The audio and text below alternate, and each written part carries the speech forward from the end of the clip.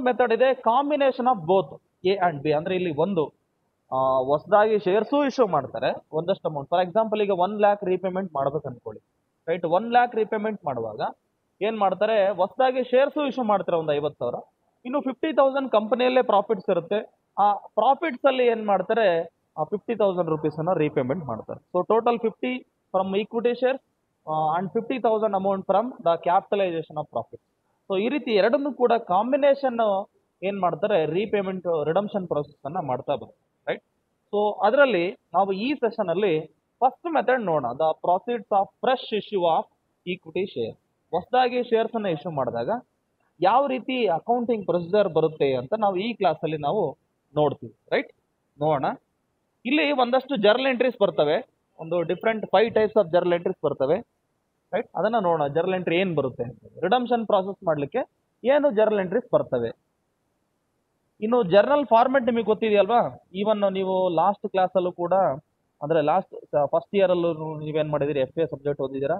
ಅಲ್ಲಿ journal entries ಹೇಗೆ ಬರೆಯೋದು ಅಂತ ನಿಮ್ಗೆ ಗೊತ್ತಿದೆ. ಕನ್ಸೈನ್ಮೆಂಟ್ ಅಲ್ಲಿ ಆಗಿರ್ಬೋದು ಜಾಯಿಂಟ್ ವೆಂಚರ್ ಅಲ್ಲಿ ಆಗಿರ್ಬೋದು ರೈಟ್ ಇನ್ಶೂರೆನ್ಸ್ ಕ್ಲೈಮ್ಸ್ ಆಗಿರ್ಬೋದು.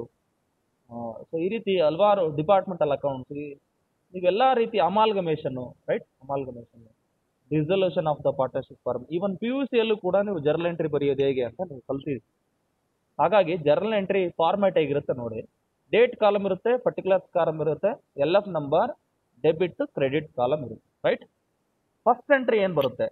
When shares are issued at par par means ಯಾರ್ ದ ಫೇಸ್ ವ್ಯಾಲ್ಯೂ ಅಂತ ರೈಟ್ ಒಂದು ವೇಳೆ ಕಂಪನಿಗೆ ರೀಪೇಮೆಂಟ್ ಪ್ರಾಸೆಸ್ ಮಾಡಲಿಕ್ಕೆ ರಿಡಮ್ಷನ್ ಪ್ರಾಸೆಸ್ ಮಾಡಲಿಕ್ಕೆ ಅಮೌಂಟ್ ಅನ್ನ ಏನ್ ಮಾಡ್ತಾರೆ? ಈಕ್ವಿಟಿ ಶೇರ್ಸ್ ಅನ್ನ ಫೇಸ್ ವ್ಯಾಲ್ಯೂಗೆ ಇಶ್ಯೂ ಮಾಡಿದಾಗ ಫೇಸ್ ವ್ಯಾಲ್ಯೂ ಪಾರ್ ವ್ಯಾಲ್ಯೂಗೆ ಇಶ್ಯೂ ಮಾಡಿದಾಗ ಯಾವ ರೀತಿ ಜರ್ನಲ್ ಎಂಟ್ರಿ ಬರುತ್ತೆ? ವೆರಿ ಸಿಂಪಲ್ ಜರ್ನಲ್ ಎಂಟ್ರಿ ನೋಡಿ. ಬ್ಯಾಂಕ್ ಅಕೌಂಟ್ ಡೆಬಿಟ್ ಆಗುತ್ತೆ to equity share application account ಅಂತ ಬರುತ್ತೆ. ಬ್ಯಾಂಕ್ ಅಕೌಂಟ್ ಇಲ್ಲಿ ಯಾಕೆ ಡೆಬಿಟ್ ಆಯಿತು ಅಂತ ನೀವು ಜಸ್ಟ್ ಯೋಚನೆ ಮಾಡಬೇಕು. ನಿಮಗೆಲ್ರಿಗೂ ಕೂಡ ಏನು ಅಕೌಂಟಿಂಗ್ ರೂಲ್ಸ್ ಗೊತ್ತಿದೆ ಅಲ್ವಾ? ಫಂಡಮೆಂಟಲ್ ರೂಲ್ಸ್ ಯಾವ್ದಂತ ಹೇಳ್ತೀರಾ? ಅಕೌಂಟಿಂಗ್ ರೂಲ್ಸ್ ಏನಿದೆ ಹೇಳ್ತೀರಾ?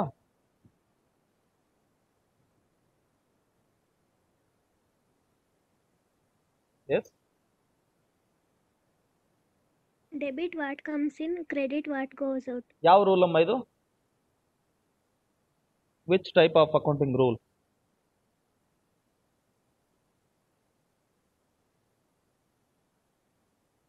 hmm ನೀವು ಹೇಳಿದ್ದು ರೂಲ್ ಕರೆಕ್ಟ್ ಆಗಿದೆ. ಅದು ಯಾವ ರೂಲು ಎಷ್ಟು ಟೈಪ್ಸ್ ಆಫ್ ರೂಲ್ಸ್ ಇದೆ accounting rules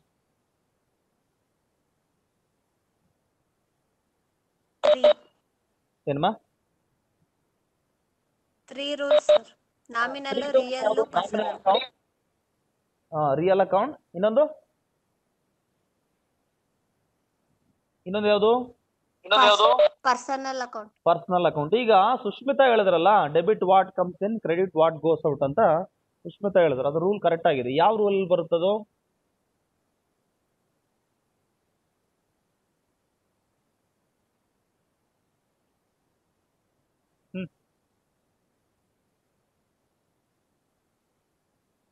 S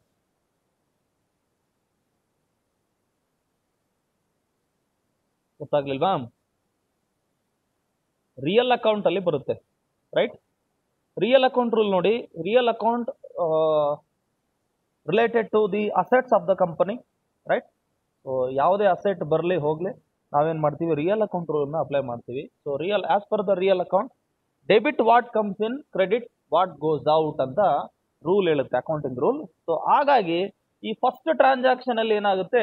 real account rule apply ಆಗುತ್ತೆ. ಯಾಕೆಂತಂದ್ರೆ ನೋಡಿ, ಈಗ ಶೇರ್ಸ್ ಅನ್ನ ಇಶ್ಯೂ ಮಾಡ್ತೀವಿ, ಸರಿನಾ? ಶೇರ್ ಅಪ್ಲಿಕೇಶನ್ಸ್ ಅನ್ನ ನಾವೇನ್ ಮಾಡ್ತೀವಿ? ಪಬ್ಲಿಕ್ ಕೊಡ್ತೀವಿ. ಸೆಕ್ಯೂರಿಟೀಸ್ ಅನ್ನ ಕೊಡ್ತೀವಿ. ಅದಕ್ಕೆ ಬದಲಾಗಿ ನಮಗೇನ್ ಸಿಗುತ್ತೆ? Amount ಸಿಗುತ್ತಲ್ವಾ? So cash cash comes into the business so debit what comes in cash comes into the business ಅಲ್ಲಿ ಬ್ಯಾಂಕ್ ಕ್ಯಾಶ್ ಆರ್ ಬ್ಯಾಂಕ್ ಅಂತ ನಾವು ತಗೋಬೇಕಾಗುತ್ತೆ. ಸೊ ಹಾಗಾಗಿ ಡೆಬಿಟ್ ಮಾಡಬೇಕು. As per the real account we are receiving the cash from the equity shareholders therefore cash or bank account is debited to equity share application account ಅಂತ entry ಬರುತ್ತೆ. Right ಇಲ್ಲಿ application money ನಾವು ಏನ್ ಮಾಡ್ತೀವಿ? Collect ಮಾಡ್ಕೊತೀವಿ. So application money collect ಮಾಡ್ತೀವಿ. ಹಾಗೆ applications ಅನ್ನ ಈಕ್ವಿಟಿ ಶೇರ್ ಅಪ್ಲಿಕೇಶನ್ಸ್ ಅನ್ನ ಪಬ್ಲಿಕ್ ಕೊಡ್ತೀವಿ. ಹಾಗೇನೆ ಈ ಶೇರ್ಸ್ ಅನ್ನ ಫೇಸ್ ವ್ಯಾಲ್ಯೂ ಇಶ್ಯೂ ಮಾಡಿದಾಗ ಇನ್ನೊಂದು ಎಂಟ್ರಿ ಕೂಡ ಬರುತ್ತೆ. ಎಂಟ್ರಿ ಈ ತರ ಇರುತ್ತೆ ನೋಡಿ second entry equity share application account debit equity share application account debit to share capital account to share capital account ಇಲ್ಲಿ equity share application account debit ಆಗುತ್ತೆ. ಯಾಕೆಂತಂದ್ರೆ ನಾವು ಅಪ್ಲಿಕೇಶನ್ ಮನಿಯನ್ನ ಕ್ಲೋಸ್ ಮಾಡ್ಬೇಕು ರೈಟ್ ಅಪ್ಲಿಕೇಶನ್ ಅಕೌಂಟ್ ಕ್ಲೋಸ್ ಮಾಡಬೇಕು. ಆ ಕಾರಣಕ್ಕೆ ನೋಡಿ ಫಸ್ಟ್ ಎಂಟ್ರಿನಲ್ಲಿ ಏನಾಗಿತ್ತು? Equity share application account credit ಆಗಿತ್ತಲ್ವಾ? ಈಗ ಕ್ಲೋಸ್ ಮಾಡಬೇಕಾದ್ರೆ ಅದನ್ನ ಡೆಬಿಟ್ ಮಾಡಲೇಬೇಕು right so equity share application ಮನಿಯನ್ನ ನಾವೇನ್ ಮಾಡ್ತೀವಿ? After final allotment right after final allotment it will be converted into the share capital ಒಂದು ಫೈನಲ್ ಅಲಾಟ್ಮೆಂಟ್ ಕಂಪ್ಲೀಟ್ ಆದ ನಂತರ ಅದು ಶೇರ್ ಕ್ಯಾಪಿಟಲ್ ಆಗಿ ಕನ್ವರ್ಟ್ ಮಾಡಬೇಕು. ಆ ರೀತಿ ಕನ್ವರ್ಟ್ ಮಾಡಬೇಕಾದ್ರೆ ಒಂದು ಜರ್ನಲ್ ಎಂಟ್ರಿ ಬರುತ್ತೆ. So equity share application account debit to share capital account share capital ಇಲ್ಲಿ ಕ್ರೆಡಿಟ್ ಆಗುತ್ತೆ. ಯಾಕೆಂತಂದ್ರೆ it is the liability of the company right liability side ಬರ್ತಕ್ಕಂಥ ಐಟಮ್ ಅದು ಶೇರ್ ಕ್ಯಾಪಿಟಲ್ ಹಾಗಾಗಿ ನಾವೇನ್ ಮಾಡ್ತೀವಿ? ಇದನ್ನ ಕ್ರೆಡಿಟ್ ಸೈಡ್ ತೋರಿಸ್ತೀವಿ. So liability comes under the credit side right so ಒಂದ್ ಎಂಟ್ರಿ ಇನ್ನು ಸೆಕೆಂಡ್ ಟ್ರಾನ್ಸಾಕ್ಷನ್ ಹೇಗೆ ಬರುತ್ತೆ ಅಂದ್ರೆ, ಒಂದ್ ವೇಳೆ ಶೇರ್ಸ್ ಅನ್ನ ಏನಾದ್ರೂ ಪ್ರೀಮಿಯಂ ಅಮೌಂಟ್ಗೆ ಇಶ್ಯೂ ಮಾಡಿದ್ರೆ ಶೇರ್ಸ್ ಅನ್ನ ಪ್ರೀಮಿಯಂ ಅಮೌಂಟ್ಗೆ ಇಶ್ಯೂ ಮಾಡಿದ್ದಾರೆ. ಪ್ರೀಮಿಯಂ ಅಂದ್ರೆ ಏನು? ನಾನು ಪ್ರೀವಿಯಸ್ ಕ್ಲಾಸ್ ಅಲ್ಲಿ ಹೇಳಿದೀನಿ. Premium means something extra on the capital ಅಂತೇಳಿ ಫಾರ್ ಎಕ್ಸಾಂಪಲ್ ಈಗ ಒನ್ ಲ್ಯಾಕ್ ರುಪೀಸ್ ಕ್ಯಾಪಿಟಲ್ ಅನ್ಕೊಳ್ಳಿ. ಎಕ್ಸ್ಟ್ರಾ ಟೆನ್ ಪರ್ಸೆಂಟ್ ಪ್ರೀಮಿಯಂ ಅನ್ನ ಕಲೆಕ್ಟ್ ಮಾಡಿದ್ವಿ ಎಕ್ಸ್ಟ್ರಾ ಟೆನ್ ಪರ್ಸೆಂಟ್ ಪ್ರೀಮಿಯಂ ಅಂದ್ರೆ because of our demand because of demand of our company right ನಮ್ಮ ಕಂಪನಿಯ ಶೇರ್ಸ್ಗೆ ಅಷ್ಟೊಂದು ಪ್ರಾಮುಖ್ಯತೆ ಇದೆ. ಮಾರ್ಕೆಟ್ ಅಲ್ಲಿ ನಮ್ಮ ಕಂಪನಿ ಶೇರ್ಸ್ಗೆ ಬಹಳ ಡಿಮ್ಯಾಂಡ್ ಇದೆ. ಆ ಕಾರಣಕ್ಕೆ ಏನ್ ಮಾಡ್ತಾರೆ? ನಮ್ಮ ಶೇರ್ ಹೋಲ್ಡರ್ಸ್ ನಮ್ಮಲ್ಲಿ ಅಂದ್ರೆ ಪಬ್ಲಿಕ್ ನಮ್ಮಲ್ಲಿ ಇನ್ವೆಸ್ಟ್ಮೆಂಟ್ ಮಾಡ್ಲಿಕ್ಕೆ ಮುಂದಾಗ್ತಾರೆ. ಆಗ ನಾವೇನ್ ಮಾಡ್ತೀವಿ? ಪ್ರೀಮಿಯಂ ಇಶ್ಯೂ ಮಾಡ್ತೀವಿ. ಎಕ್ಸ್ಟ್ರಾ ಅಮೌಂಟ್ ಕೊಡಿ ನೀವು ಅಂತ ಹೇಳಿ ಕಲೆಕ್ಟ್ ಮಾಡ್ತೀವಿ right so it is because it is because of goodwill it is because of trustworthiness of our company right so when shares are issued at premium shares ಅನ್ನ premium ಪ್ರೈಸಿಗೆ ಅಂದ್ರೆ something extra ಮೊದಲೇದಲ್ಲಿ ಏನಾಯ್ತು? ಬರೀ face value hundred rupees ಅಂದ್ರೆ hundred rupees ಮಾತ್ರನೇ collect ಮಾಡೋದು.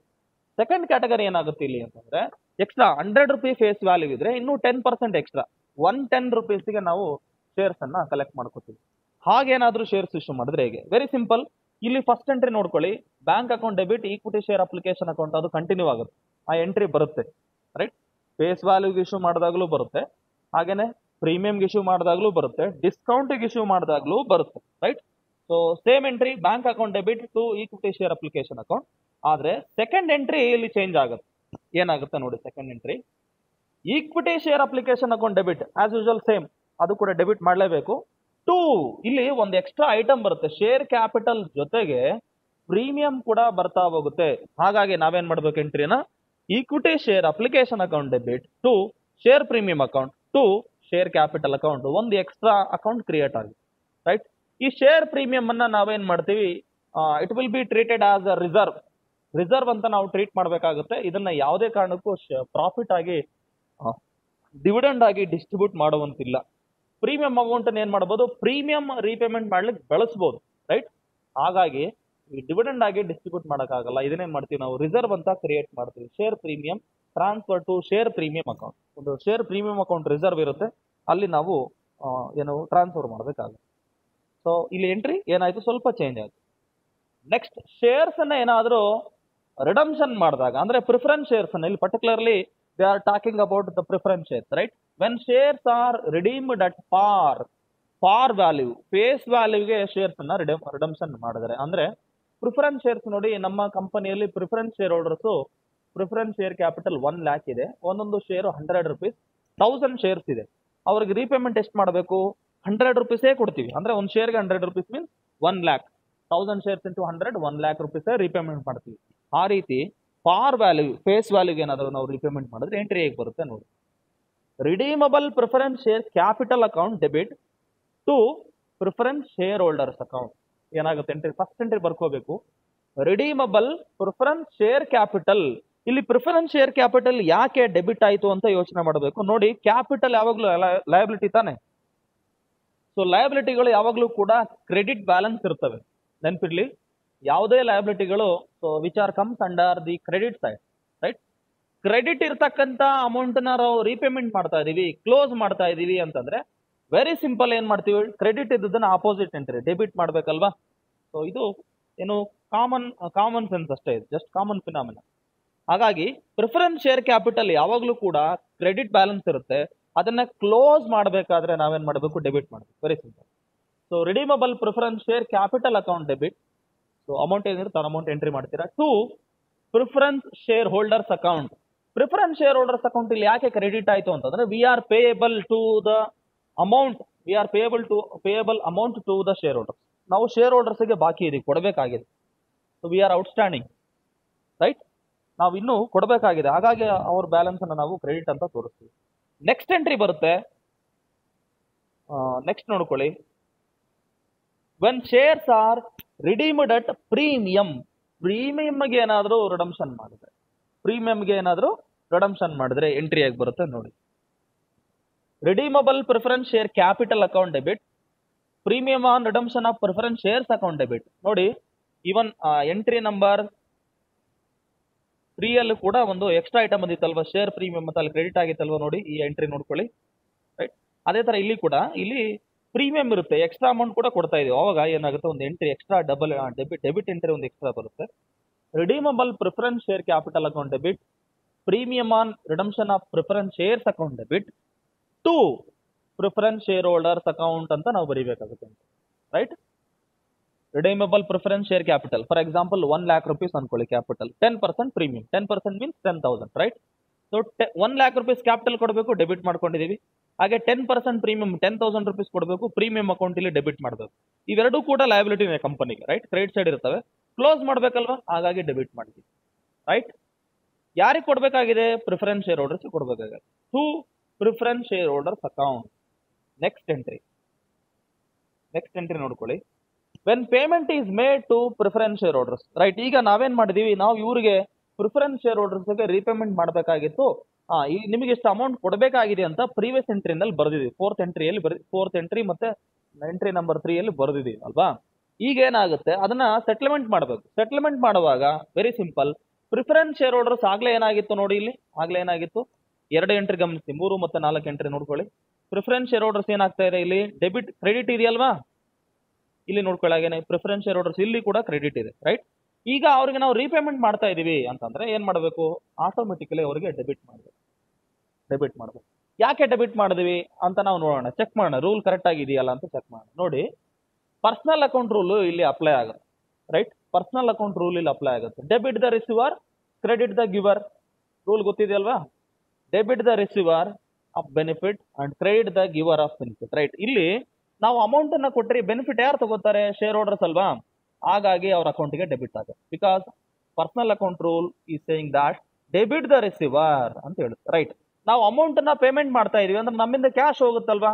Again ಇಲ್ಲಿ ರಿಯಲ್ ಅಕೌಂಟ್ ರೂಲ್ ಕೂಡ ಮತ್ತೆ ಅಪ್ಲೈ ಆಗುತ್ತೆ. ಹಾಗಾಗಿ ನಾವೇನ್ ಮಾಡಿದ್ವಿ? As per real account debit what comes in credit what goes out in case we have made a payment so definitely there will be cash is going out or bank balance is going out to share holders ಅಂತಂದಾಗ cash or bank account credit ಆಗುತ್ತೆ. As per real account cash or bank account should be credited so rule is correct next entry for adjustment of premium on redemption ನೋಡಿ, ಈ ಎಂಟ್ರಿನಲ್ಲಿ entry number five ಅಲ್ಲಿ ಕೇವಲ share capital ನಾವು payment ಮಾಡಿದ್ವಿ ಅಲ್ವಾ? ಆದರೆ ಪ್ರೀಮಿಯಂ ಅಮೌಂಟ್ ಸೆಟಲ್ಮೆಂಟ್ ಮಾಡಿಲ್ಲ. ಪ್ರೀಮಿಯಂ ಏನ್ ಮಾಡಬೇಕು? ಪ್ರೀಮಿಯಂ ಅನ್ನ ನಾವು ಪ್ರಾಫಿಟ್ ಅಂಡ್ ಲಾಸ್ ಅಕೌಂಟ್ಗೆ ಟ್ರಾನ್ಸ್ಫರ್ ಮಾಡಬೇಕು ರೈಟ್ ರಿಡಮ್ಷನ್ ಪ್ರೀಮಿಯಂ ಇತ್ತಂದ್ರೆ ಅವಾಗ ನಾವೇನ್ ಮಾಡಬೇಕಾಗುತ್ತೆ? ಅದನ್ನ ಪ್ರಾಫಿಟ್ ಅಂಡ್ ಲಾಸ್ ಅಕೌಂಟ್ಗೆ ಟ್ರಾನ್ಸ್ಫರ್ ಮಾಡಬೇಕು. Profit and loss account debit ಮಾಡಬೇಕು. ಪ್ರೀಮಿಯಂ ಅನ್ನೋ of preference share account credit ಮಾಡಬೇಕು. ಕ್ರೆಡಿಟ್ ಯಾಕೆ ಮಾಡಿದೀವಿ ನೋಡಿ ಪ್ರೀವಿಯಸ್ ಎಂಟ್ರಿ ಗಮನಿಸಿ. ಎಂಟ್ರಿ ನಂಬರ್ ಫೋರ್ ನೋಡ್ಕೊಳ್ಳಿ ಇಲ್ಲಿ. When shares are deem at premium ಇಲ್ಲೇನಾಗಿದೆ? Premium on redemption of preference shares ಏನಾಗಿತ್ತು? ಡೆಬಿಟ್ ಆಗಿತ್ತು ಅಲ್ವಾ? ಈಗ ಕ್ಲೋಸ್ ಮಾಡ್ತಾ ಇದೀವಿ ಅಂದ್ರೆ ಏನ್ ಮಾಡಬೇಕು? ಡೆಫಿನೆಟ್ಲಿ ಏನ್ ಮಾಡಬೇಕು? ಡೆಬಿಟ್ ಇದ್ದದನ್ನ ಕ್ರೆಡಿಟ್ ಮಾಡ್ಲೇಬೇಕು. ಅಷ್ಟೇ very simple profit and loss account debit ಆಗುತ್ತೆ. Premium on redemption of preference shares account credit ಆಗುತ್ತೆ. ಇದು ನಮಗೆ ಲಾಸ್ ಆಗುತ್ತೆ. Being loss on redemption of premium ಅಂತ ಬರೀಬೇಕಂತ್ರಿ. ದಟ್ಸ್ ಆಲ್ ಸೊ ಇಷ್ಟು ಈ ಆರು ತರಹದ ಟ್ರಾನ್ಸಾಕ್ಷನ್ಸ್ ಅನ್ನ ನೀವು ನೆನ್ಪಿಟ್ಕೋತೀರಲ್ವಾ ನೋಡಿ ಫಸ್ಟ್ ಎಂಟ್ರಿನಲ್ಲಿ ಏನಾಯ್ತು? ರಿಪೀಟ್ ಮಾಡ್ತೀನಿ ಒಂದೊಂದ್ಸರಿ. When shares are issued at par face value issue ಮಾಡಿದ್ರೆ ಬ್ಯಾಂಕ್ ಅಕೌಂಟ್ ಡೆಬಿಟ್ ಆಗುತ್ತೆ equity share application account credit ಆಗುತ್ತೆ. Again equity share application account debit ಮಾಡಿ ಶೇರ್ ಕ್ಯಾಪಿಟಲ್ ಕ್ರಿಯೇಟ್ ಮಾಡ್ತೀವಿ. When shares are issued at premium premium issue ಮಾಡಿದಾಗ ಏನಾಗುತ್ತೆ? Bank account debit ಮಾಡ್ತೀವಿ equity share application account credit ಮಾಡ್ತೀವಿ, ಇದು common entry ಅದಾದ ನಂತರ ಅಲ್ಲಿ ಸೆಕೆಂಡ್ ಎಂಟ್ರಿನೂ ಬರುತ್ತೆ equity share application account debit ಆಗುತ್ತೆ. Share premium share capital credit ಮಾಡ್ತೀವಿ. ಸರಿನಾ? When shares are redeemed at premium par sorry par par ವ್ಯಾಲ್ಯೂಗೆ redemption ಮಾಡಿದಾಗ redeemable preference share capital account debit ಮಾಡ್ತೀವಿ. To preference share holders account credit ಆಗುತ್ತೆ. ಒಂದು ವೇಳೆ ಪ್ರೀಮಿಯಂಗೆ ಏನಾದರೂ ರಿಡಮ್ಷನ್ ಮಾಡಿದ್ರೆ redeemable preference share capital account debit premium on redemption of preference shares account debit to preference share holders account ಅಂತ entry ಬರುತ್ತೆ. Next settlement ಮಾಡಬೇಕು. ಈಗ ಫೈನಲ್ ಸೆಟ್ಲ್ಮೆಂಟ್ ಪೇಮೆಂಟ್ ಮಾಡಬೇಕಾಗಿದೆ. ಅವಾಗ ಎಂಟ್ರಿ ಏನು ಬರುತ್ತೆ? ಪ್ರಿಫರೆನ್ಸ್ ಶೇರ್ ಹೋಲ್ಡರ್ಸ್ ಇಲ್ಲಿ ರಿಸೀವರ್ಸ್ ಆಫ್ ಬೆನಿಫಿಟ್ ಆಗಿರೋದ್ರಿಂದ ಡೆಬಿಟ್ ಮಾಡ್ತೀವಿ. ಕ್ಯಾಶ್ ನಮ್ಮಿಂದ ಹೋಗ್ತಾ ಇದೆ ಬ್ಯಾಂಕ್ ಬ್ಯಾಲೆನ್ಸ್ ಹೋಗ್ತಾ ಇದೆ ಅಂತಂದ್ರೆ to bank account or cash account credit ಮಾಡಬೇಕು. ಇನ್ನು ಅಡ್ಜಸ್ಟ್ಮೆಂಟ್ ಆಫ್ ಪ್ರೀಮಿಯಂ ಪ್ರೀಮಿಯಂ ಅನ್ನ ಅಡ್ಜಸ್ಟ್ಮೆಂಟ್ ಮಾಡಬೇಕಲ್ವಾ? ಅದಕ್ಕೆ ಏನ್ ಮಾಡ್ತೀವಿ entry profit and loss account debit ಮಾಡ್ತೀವಿ. ಪ್ರೀಮಿಯಂ ಆನ್ ರಿಡಮ್ಷನ್ ಕ್ರೆಡಿಟ್ ಮಾಡಿ ವೆರಿ ಸಿಂಪಲ್ ರೈಟ್ ಅರ್ಥ ಆಯ್ತಲ್ವಾ ಎಂಟ್ರೀಸ್ ಗೊತ್ತಾಯ್ತಾ ನಿಮಗೆ? ಹಲೋ?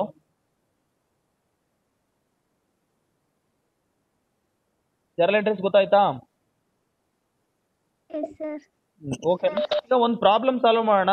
ಅವಾಗ ನಮ್ಗೆ ಗೊತ್ತಾಗುತ್ತೆ ಇನ್ನು ಕ್ಲಾರಿಟಿ ಬರುತ್ತೆ ನೋಡಿ. ಇಲ್ಲಿ ಒಂದು ಪ್ರಾಬ್ಲಮ್ ಇದೆ ಗಮನಿಸ್ಬೋದು ನೀವು. ಸ್ಕ್ರೀನ್ ಕಾಣ್ತಾ ಇದೆ ಅಲ್ವಾ?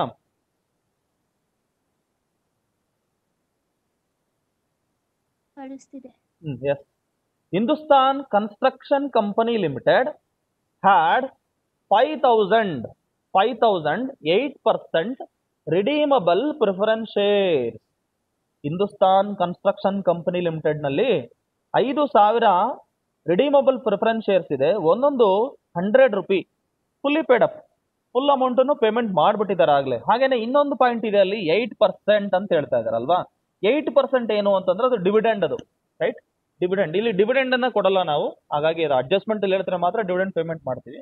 ಸೊ ಅದ್ರ ಬಗ್ಗೆ ನೀವು ತಲೆ ಕೆಡಿಸ್ಕೋಬೇಡಿ. ಜಸ್ಟ್ ನೋಡಿ ಹಿಂದೂಸ್ತಾನ್ ಕನ್ಸ್ಟ್ರಕ್ಷನ್ ಕಂಪನಿ ಲಿಮಿಟೆಡ್ನಲ್ಲಿ ಐದು ಸಾವಿರ ಶೇರ್ಸ್ ಗಳಿದೆ ಒಂದೊಂದು ಹಂಡ್ರೆಡ್ ರುಪಿ ಅಂತಂದ್ರೆ ಎಷ್ಟಾಯ್ತಮ್ಮ ಅಮೌಂಟ್ ಅಲ್ಲಿ? ಎಷ್ಟಾಗುತ್ತೆ? Five thousand into hundred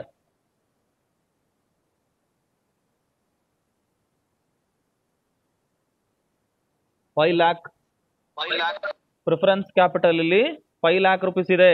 ಅದನ್ನ ನಾವೀಗ ರೀಪೇಮೆಂಟ್ ಮಾಡ್ಬೇಕು. ನೋಡಿ ಏನಿದೆ ನೆಕ್ಸ್ಟ್ ಕಂಡೀಷನ್ ನೋಡಿ. Company decided to redeem these preference shares at par par ವ್ಯಾಲ್ಯೂಗೆ redemption ಮಾಡ್ತಾ ಇದ್ದಾರೆ. ಅಂದ್ರೆ ರೀಪೇಮೆಂಟ್ ಮಾಡ್ತಾ ಇದ್ದಾರೆ. ಅಂದ್ರೆ ಫೈವ್ ಲ್ಯಾಕ್ ರುಪೀಸ್ಗೆ ಫೈವ್ ಲ್ಯಾಕ್ ರುಪೀಸ್ ಸೆಟ್ಲ್ಮೆಂಟ್ ಮಾಡಬೇಕು. ರೈಟ್ ನೆಕ್ಸ್ಟ್ ನೋಡಿ. ಆ ರಿಡಮ್ಷನ್ ಮಾಡ್ಲಿಕ್ಕೆ ಅವ್ರೇನ್ ಮಾಡ್ತಾ ಇದ್ದಾರೆ?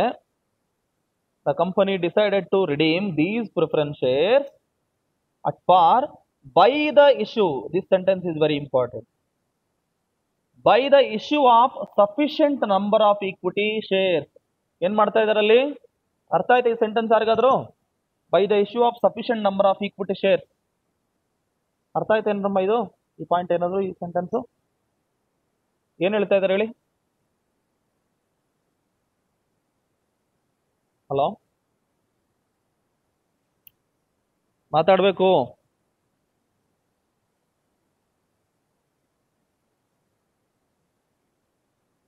ಹಲೋ.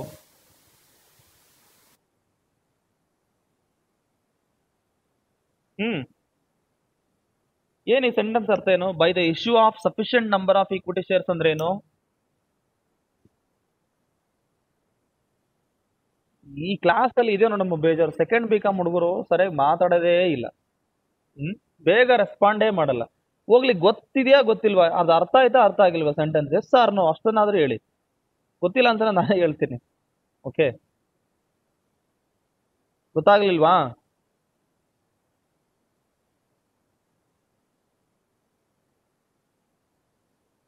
ಹಲೋ ರಶ್ಮಿತಾ?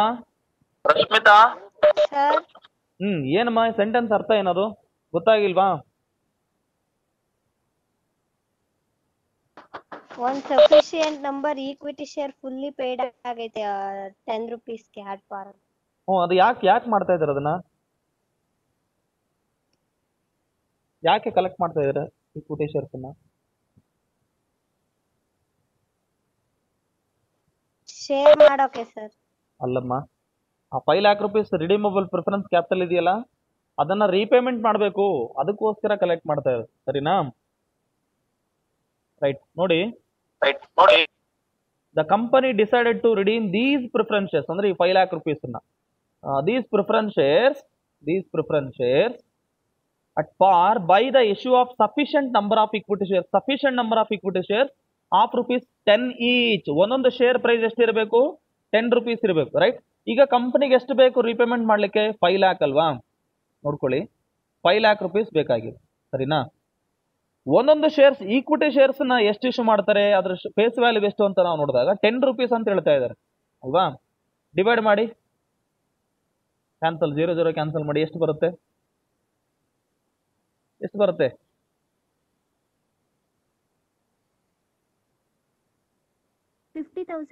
ಹಾ ಫಿಫ್ಟಿ ತೌಸಂಡ್ ಈಕ್ವಿಟಿ ಶೇರ್ಸ್ ಬರುತ್ತೆ ಇಲ್ಲಿ ಸರಿನಾ? ಅಂದ್ರೆ ಐದು ಸಾವಿರ ಶೇರ್ಸ್ನ ಹಂಡ್ರೆಡ್ ರುಪೀಸ್ ಇರತಕ್ಕಂತ ಪ್ರಿಫರೆನ್ಸ್ ಶೇರ್ಸ್ ಅನ್ನ ರಿಪೇಮೆಂಟ್ ಮಾಡ್ಲಿಕ್ಕೆ ಹತ್ತು ರೂಪಾಯಿ ಫೇಸ್ ವ್ಯಾಲ್ಯೂ ಇರತಕ್ಕಂಥ ಐವತ್ತು ಸಾವಿರ ಶೇರ್ಸ್ ಅನ್ನು ಇವ್ರು ಇಶ್ಯೂ ಮಾಡ್ಬೇಕೀಗ. ಸರಿನಾ? ಇಶ್ಯೂ ಮಾಡಿದ್ದಾರೆ, ಹಾಗೆ ಫುಲ್ಲಿ ಪೇಡಪ್ಪು ಆಗಿದೆ ಕಲೆಕ್ಟ್ ಮಾಡಿದ್ದಾರೆ. ಅಟ್ ಪಾರ್ ಈ ಸೆಂಟೆನ್ಸ್ ಇಂಪಾರ್ಟೆಂಟ್ ಅಂದ್ರೆ ಇಲ್ಲಿ ಪ್ರೀಮಿಯಂ ಕಲೆಕ್ಟ್ ಮಾಡಿಲ್ಲ ಅವರು. ಏನು? ಐದು ಲಕ್ಷ ಮಾತ್ರನೇ ಕಲೆಕ್ಟ್ ಮಾಡಿದ್ದಾರೆ ಅಷ್ಟೇ. ನೆಕ್ಸ್ಟ್ ನೋಡಿ. You are required to pass necessary journal entries including cash transactions cash transactions ಬರುತ್ತೆ ಈ ಪ್ರಾಬ್ಲಮ್ ಅಲ್ಲಿ. ಅದನ್ನು ಕೂಡ ನಾವೇನ್ ಮಾಡಬೇಕಾಗುತ್ತೆ? ಮೆನ್ಷನ್ ಮಾಡಬೇಕು. ನೋಡಿ. ಸೊ ಇಲ್ಲಿ ಒಂದು ಪಾಯಿಂಟ್ ಗಮನದಲ್ಲಿ ಇಟ್ಕೊಳ್ಳಿ ಶೇರ್ಸ್ ಅನ್ನ ಇಶ್ಯೂ ಮಾಡಿದ್ದು ಪಾರ್ ವ್ಯಾಲ್ಯೂಗ ಅಥವಾ ಪ್ರೀಮಿಯಂಗ ಹೇಳ್ತೀರಾ ಯಾರಾದ್ರು? ಹೊಸದಾಗಿ ಇಕ್ವಿಟಿ ಶೇರ್ ಇಶ್ಯೂ ಮಾಡಿದ್ರು. ಪಾರ್ ವ್ಯಾಲ್ಯೂಗೆ ಇಶ್ಯೂ ಮಾಡಿದಾರಾ ಅಥವಾ ಪ್ರೀಮಿಯಂಗೆ ಇಶ್ಯೂ ಮಾಡಿದಾರಾ?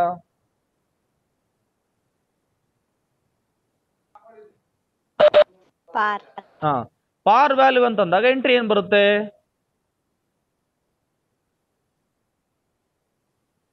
ಏನ್ ಬರುತ್ತೆ? ಅದಕ್ಕೆ ಹೇಳೋದು ನೋಟ್ಬುಕ್ ಅಲ್ಲಿ ಬರ್ಕೋಬೇಕು ಅಂತ. ಪಾರ್ ವ್ಯಾಲ್ಯೂ ಇಶ್ಯೂ ಮಾಡಿದಾಗ when shares are issued at par ಎರಡು ಸೆಂಟೆನ್ಸ್ ಬರ್ತವೆ, ಎರಡು ಜರ್ನಲ್ ಎಂಟ್ರಿ ಬರ್ತವೆ. ಇಲ್ಲಿದೆ ನೋಡಿ ಸ್ಕ್ರೀನ್ ಅಲ್ಲಿ.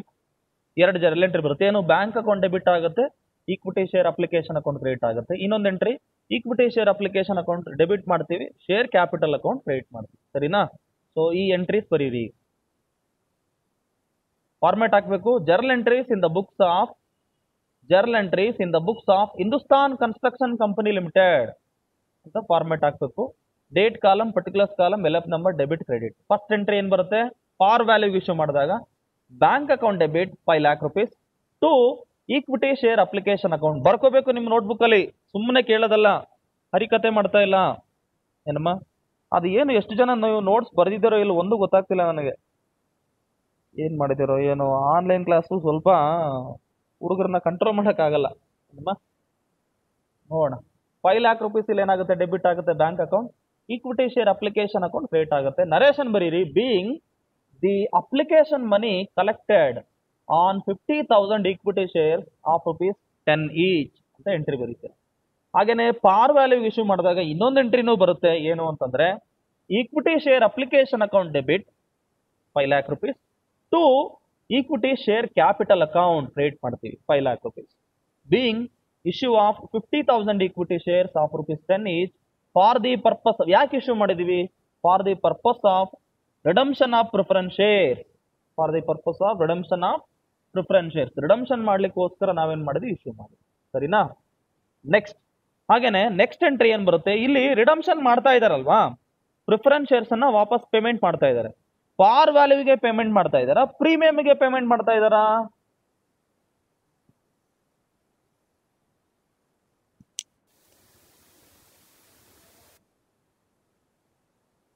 whether they are paying at par value or premium.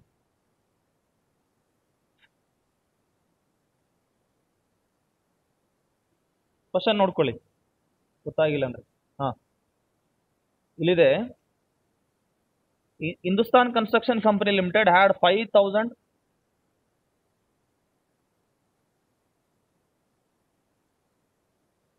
five thousand eight percent preference shares redeemable preference shares of rupees hundred days fully paid up the company decided to redeem ಇಲ್ಲಿದೆ sentence the company decided to redeem these preference shares at par par value redemption ಮಾಡ್ತಾ ಇದ್ದಾರೆ.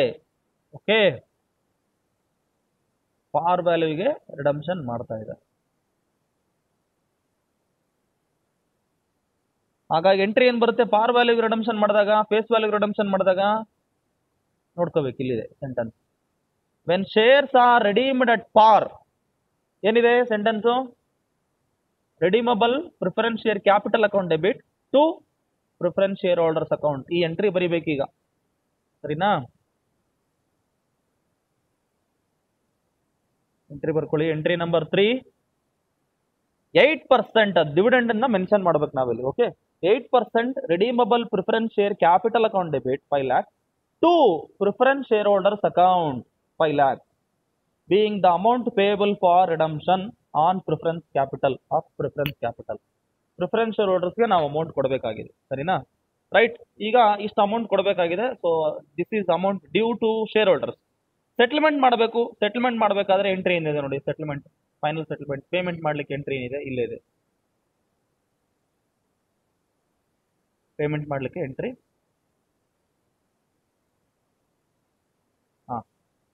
when payment is made to preference share holders entry ಏನ್ ಬರುತ್ತೆ? Preference share holders account debit ಮಾಡ್ತೀವಿ cash or bank account credit ಮಾಡ್ತೀವಿ. ಯಾಕಂದ್ರೆ debit the receiver and credit what goes out ಅಂತೇಳಿ entry pass ಮಾಡ್ಬೇಕು ಇಲ್ಲಿ. ಸರಿನಾ? ಎಂಟ್ರಿ ಬರ್ಕೊಳ್ಳಿ. Entry number five sorry four preference share holders account debit five lakh to bank account being the amount paid to preference share holders as redemption ಗೊತ್ತಾಯ್ತಲ್ವಾ? Total ಇಲ್ಲಿ ನಾಲ್ಕು journal entries ಬರುತ್ತೆ. ಒಂದು first ಎಂಟ್ರಿನಲ್ಲಿ bank account debit to equity share application account ಯಾಕೆ ಅಂತಂದ್ರೆ ನಾವು application money collect ಮಾಡ್ತಾ ಇದೀವಿ. Five lakh rupees five lakh rupees ಒಂದೊಂದು ಶೇರು ಹತ್ತು ರೂಪಾಯಿ ಫೇಸ್ ವ್ಯಾಲ್ಯೂ ಇದೆ. ಫಿಫ್ಟಿ ತೌಸಂಡ್ ಶೇರ್ಸ್ ಅನ್ನ ಕಲೆಕ್ಟ್ ಮಾಡಬೇಕು. ಎಂಟ್ರಿ ನಂಬರ್ ಟೂ ಅಲ್ಲಿ ಅಪ್ಲಿಕೇಶನ್ ಮನಿಯನ್ನ ನಾವೇನ್ ಮಾಡ್ತೀವಿ? ಅಲಾಟ್ಮೆಂಟ್ ಫೈನಲ್ ಅಲಾಟ್ಮೆಂಟ್ ಆದಾಗ ಶೇರ್ ಕ್ಯಾಪಿಟಲ್ ಆಗಿ ಕನ್ವರ್ಟ್ ಮಾಡಬೇಕು. ಹಾಗಾಗಿ equity share application account debit ಮಾಡ್ತೀವಿ. To equity share capital account being issue fifty thousand equity shares of rupees ten each for the purpose of redemption ಅಂತ narration ಬರೀತಾರೆ. Entry number three ಇಲ್ಲಿ par ವ್ಯಾಲ್ಯೂಗೆ redemption ಮಾಡೋದ್ರಿಂದ eight percent preference redeemable preference share capital account debit to preference shareholders account being the amount payable for redemption preference share ಹೋಲ್ಡರ್ಸ್ಗೆ ನಾವು ಕೊಡಬೇಕಾಗಿದೆ. Payable amount five lakh rupees ಇನ್ನು settlement ಮಾಡಬೇಕು payment ಮಾಡಬೇಕು. ಅದಕ್ಕೆ entry ಏನು ಬರುತ್ತೆ ನೋಡಿ. Entry number four preference share holders account debit to bank account because preference share holders are receiver of benefit debit ಮಾಡ್ತೀವಿ as per personal account rule and cash is going out from our bank so bank account is to be credited as per real account being the amount pay to preference share holder as redemption ಗೊತ್ತಾಯ್ತೇನ್ರಮ್ಮ journal entries ಎಲ್ಲ ಗೊತ್ತಾಯ್ತಾ?